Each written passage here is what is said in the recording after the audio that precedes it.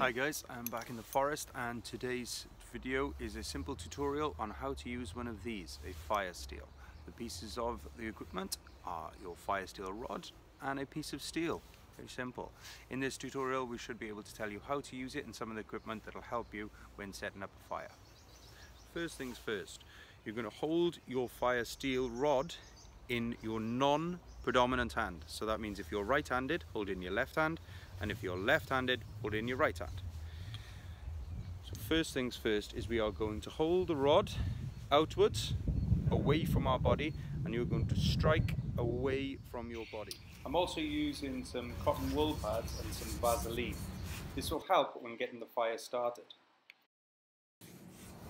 Come across an old piece of bark that I'm just going to tap out to make sure nothing's living inside and then break down to make a base for my fire.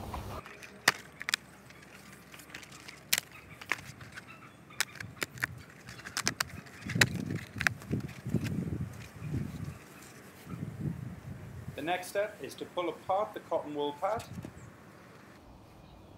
and fluff it up. And now we're going to get some Vaseline and rub a touch of Vaseline on the inside.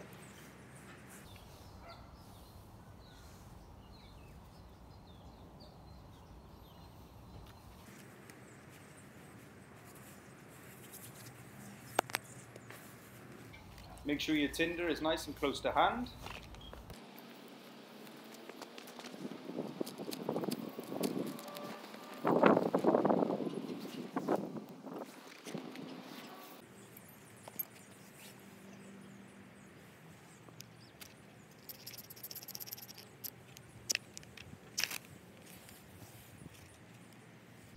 And once again, a quick reminder just to clear the area of any leaf debris that might catch fire.